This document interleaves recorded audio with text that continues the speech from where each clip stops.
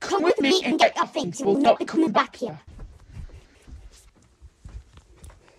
So why did you do it? Oh, alright? Is that an excuse too? What do you think this is about?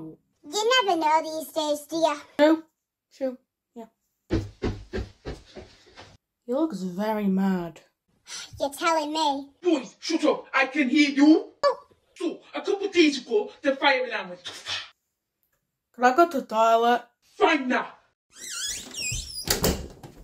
Anyway, the fire was really bad and it burns class 9D to the absolute ground.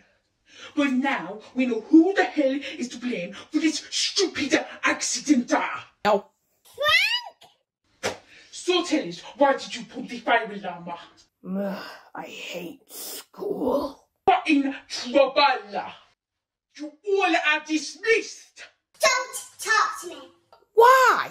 Why didn't you tell me you pulled it? If I would have known, I would have done it with you. I don't care about the punishment. What I care about is that I'm there with my best friend, you. So what he's saying is, I need a break from you. First, Big Brain does a protest about me getting a high score on a test at him, and now you pull the fire alarm. I'm sorry. For now, it's honestly over. Well, fine then. Walk away. I never liked you anyway. Big Brain's a much more better person than you anyway. Stupid moron.